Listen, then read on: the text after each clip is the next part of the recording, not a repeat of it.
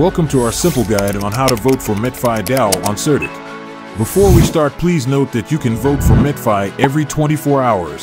Step 1 Head over to skynet.certik.com, login. If you're new here, click sign up to create an account using your email address or Google account.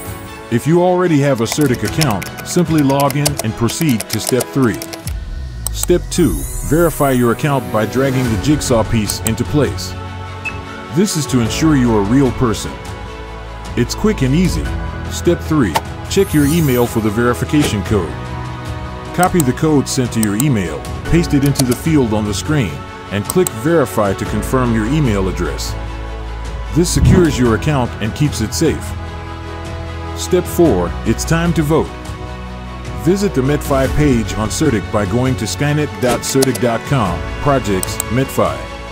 Now scroll to the bottom of the page and look for the thumbs up emoji. Click or tap on it to cast your vote. Final step.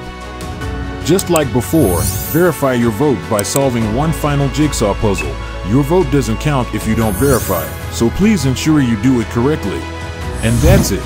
You've successfully voted for MetFi on CertiK. Come back once a day to help make MetFi shine on CertiK. Thank you. Every vote matters. Like this guy, hit subscribe, and follow us for more updates.